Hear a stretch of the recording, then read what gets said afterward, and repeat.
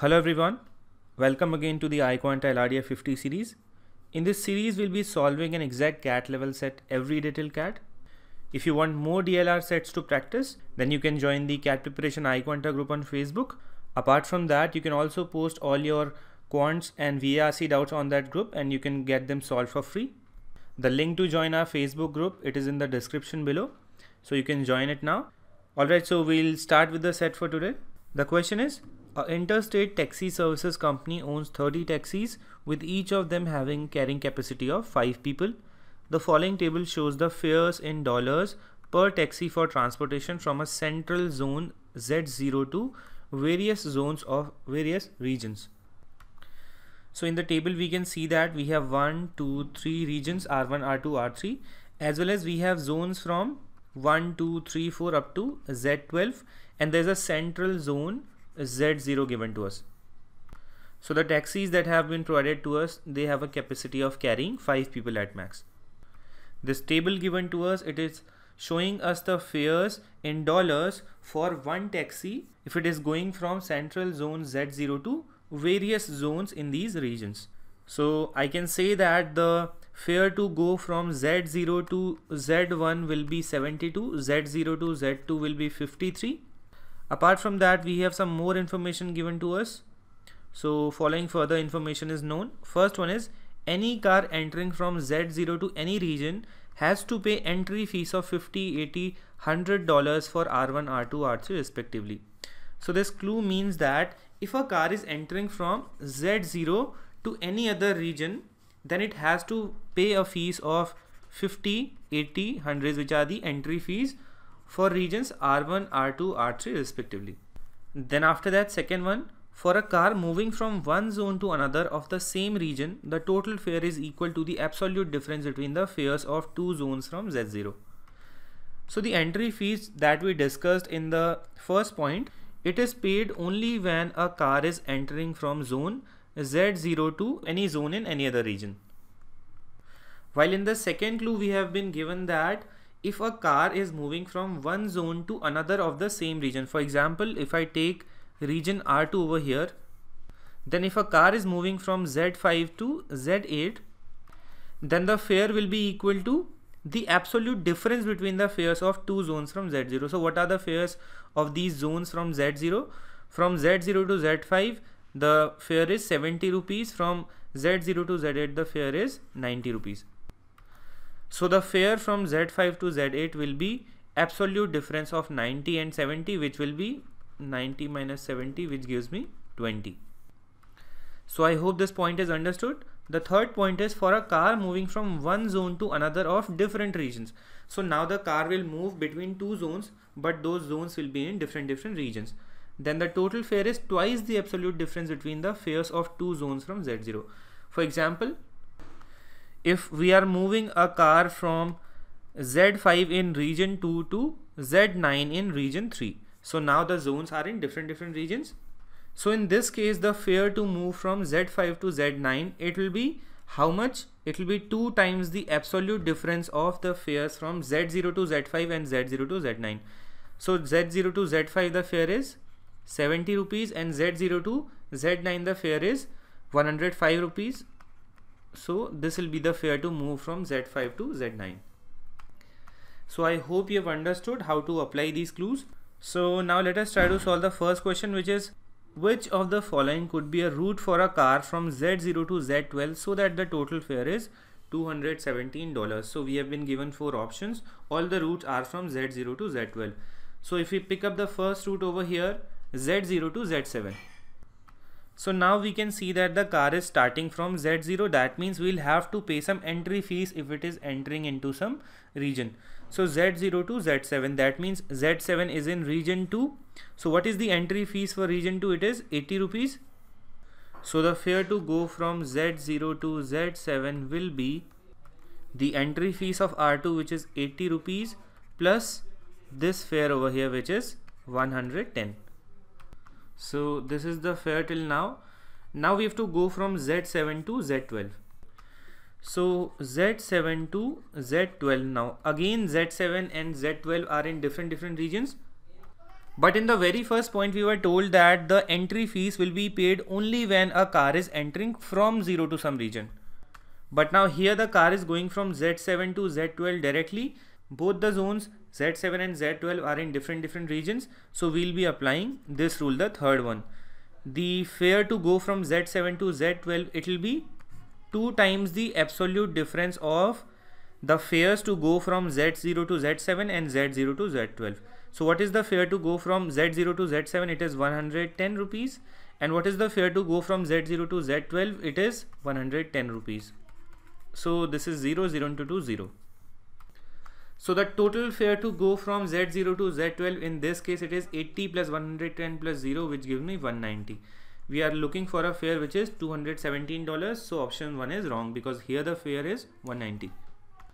Similarly in the second option Z0 to Z5 Z0 to Z5 Z5 is in region 2 it will have to pay an entry fees of 80 rupees the fare to Z5 is 70 rupees then from Z5 to Z9 fare of Z5 is 70 Z9 is 105 these both are in different different regions so fare will be two times the difference of 105 and 70 so the difference of 105 and 70 is 35 so 35 into 2 again 70 so this is the fare to go from Z5 to Z9 now we have to go from Z9 to Z12 so Z9 and Z12 they are in same region. So now the fare will be the absolute difference of this 105 and 110 not two times because these are in the same region. So difference of 105 and 110 it is 5 rupees. So if we add this we'll be getting 225 as the total which is not equal to 217 hence option 2 also will be wrong. Let's try the third option now. Again the car is entering from z0 to z4 z4 is in region 1 the entry fees for region 1 is 50 rupees then fare of Z4 is 75 rupees. Then it has to go from Z4 to Z8 Z4 and Z8 are in different different regions. So the fare will be the two times of absolute difference of this 90 and 75 90 and 75 have a difference of 15 2 times 15 will be 30 then Z8 to Z12 finally Z8 and Z12 again are in different different regions. So the fare will be two times the difference of 110 and 90 so 2 times the difference of 110 and 90 is 20. 2 times 20 will be 40. So this gives me a total of 195. Again it is not equal to 217. This will be wrong. Let's try the fourth option now. Z0 to Z2. So Z2 is in region 1. So it will have to pay a entry fees of 50 rupees first. Fare for Z2 will be 53. Then Z2 to Z7. Z2 and Z7 are in different different regions. So the fare will be 2 times the difference of this 53 and Z7 110. So 2 times the difference of 110 53. This is the difference. At last it has to go from Z7 to Z12. So Z7 and Z12 again they are in different different regions. So fare will be 2 times the difference of 110 and this fare for 12 which is 110. So 2 times the difference of 110 and 110 gives me 0 at last if I add this I get 103 plus 2 times 57 which gives me 114 which gives me a total of $217 so option 4 will be the correct answer to this question. So I hope you have properly understood how to find out the fare when we are going from one region to another one zone to another. Now let us try to solve the next question. Now the second question is if entry fees for a zone is 30% less for a car that doesn't enter directly from Z0 so now there is some entry fees for the cars that are not entering directly from Z0 but it is 30% less irrespective of which region it starts from and the entry fees collected by the movement of the taxis at the entry point of R2 on a particular day was $1680. So the total money that was collected on the entry point of R2 it was $1680 which of the following is definitely false. So the options that we have are first one is 10 cars came from R1, 10 came from R3 and 7 from Z0. So basically we have to check if the total amount from these cars 10 from R1, 10 from R3, 7 from Z0 is equal to 1680 or not. Second one is there was no car from Z0 that day. Third one is the total number of cars that entered R2 that day can't be greater than 4. Fourth one is the number of cars that came from Z0 was not more than 21. So basically all the cars have to reach R2 finally. So let us check the first option. We know that 10 cars came from R1 according to the first option. Now while considering the fare, we have we don't have to consider the region because it is written over here irrespective of which region. So all the 10 cars they'll be paying the entry fees for R2 which is 80 rupees.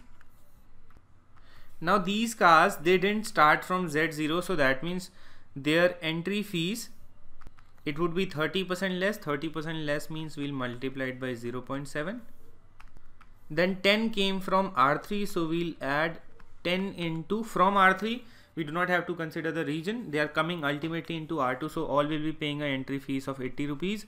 And since they are not coming from Z0 that means they'll also be paying 70% of the entry fee so we'll multiply it by 0.7 at last 7 came from Z0 so 7 into they are coming from Z0 entering into R2 so that means all will be paying an entry fees of 80 rupees. So what is the total here?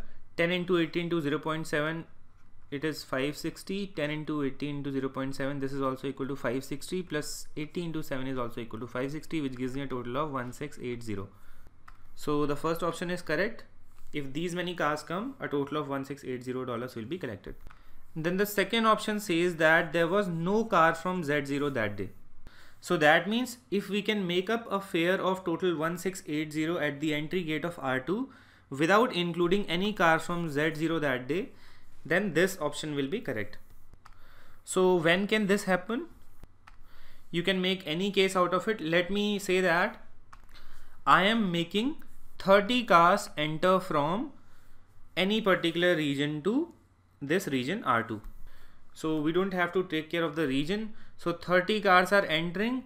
So all will be paying an entry fees of 80 rupees and since these 30 are not coming from Z0 so that means all will be paying 70% of the entry fee so let me multiply it by 0.7 if I calculate the total fare it will also be equal to 1680 so even without a single car from Z0 that day we can have a total amount of 1680 so this also can be true let us try the third one the third one says that the total number of cars that entered R2 that day can't be greater than 24 so if we simply look at the first option, we saw that the total number of cars that was entering, it was 10 plus 10 plus 7, which was 27.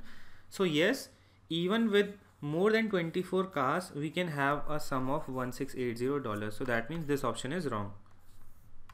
Because it clearly says that the number of cars that entered R2 that day cannot be greater than 24, which is totally false. We can have more than 24 cars that day. Fourth option is the number of cars that came from Z0 was not more than 21. Let us check this out. Now we have to talk about cars coming from Z0. So the fare of every car that was coming from Z0, it will have to pay an entry fees of 80 rupees to get into region R2. So 1680 upon 80 we get 21. So yes, if we want to have more cars from Z0, that means we should have an amount greater than 1680 over here, which is not possible. So option 3 is incorrect over here. It is definitely false. Let's try the third question now. The third question is the taxi services bought some smaller cars, taxis that could contain only 3 people each. And the total fare, that means fare plus entry fees for these cars is 35% lesser than the existing cars. If 9 people have to go to Z8, then which is the most economically feasible option to travel from Z0 to Z8? So we have four options over here. Let's try to find out the fare for two big taxis. Two big taxis they have to go to Z8 and every car has to pay fare plus the entry fees. So Z8 is in R2, it, it has an entry fees of 80 rupees. So two big taxis, they'll be paying an entry fees of 80 rupees as well as the fare which is 90 rupees. So the total fare for these two big taxis to go to Z8, it will be 340 rupees. Let's try to calculate for the second option. One big taxi, that means one taxi will pay the entry fees 80 rupees plus 90 rupees the fare plus two small taxis for them the fare plus entry fees is 35% lesser than the existing cars so we'll multiply the whole entry fees plus fare by 0.65 because we have to make it 35% lesser so entry fees plus fare is 80 plus 90 and it should be 35% lesser so multiplied by 0.65 so this gives a total fare of 391 which is the highest till now So we'll remove this because we have 340 lesser than that. Then the third option, three small taxis. So three small taxis, total fare will be 80 plus 90. We'll multiply it by 0.65 because it has to be 35% lesser. So this gives a total fare of 331.5 which is the least till now. So we'll remove 340 now. Fourth option is more than one of the above which is incorrect. So third option, three small taxis, they will have, this will be the most economically feasible option to travel from Z0 to Z8. Let's go the last question now. The last question is which of the following cannot be the total charges for a car starting from Z3 and going directly to one of the zones in R2. So if it is starting from Z3 it won't be paying the entry fees. Now Z3 to one of the zones in R2. So from Z3 it can go to Z5 or Z6 or Z7 or Z8 since these Z3 and all these regions 5, 6, 7, 8 they are in different different regions so what will be the fare? It will be 2 times the absolute difference between the fares from Z0. So Z3 and Z5 it will be 52 70 absolute difference between 52 and 70 it is 18 rupees. So 2 into 18 gives me a fare of 36 z3 and z6 again these are in different regions. Fare will be two times the difference of z3 and z6 z3 is 52 z6 is 101.5 so the difference between 52 and 100 1.5 it is 49.5 which gives me 99. Then Z3 and Z7 again in different region two times. Z3 Z7 difference between 110 and 52 it is 58 it gives me a total of 116 dollars. Then Z3 and Z8 Z3 is 52 Z8 is 90 the difference is 38 so 2 times 38 which means 76 dollars so charges can be 36, 99, 76 and 116 as well. So which fare is impossible? This $106, this is impossible. Fourth will be the correct option. So that's it with the set. The whole game was about understanding these two clues. So I hope the explanation to every question was clear. If there's a doubt, please ask in the comments. Please hit like after you finish watching the video. And if you want regular notifications regarding LRDI sets, then you can subscribe the channel. Thank you for listening.